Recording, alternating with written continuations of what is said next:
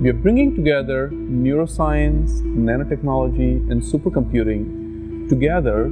to create an entirely new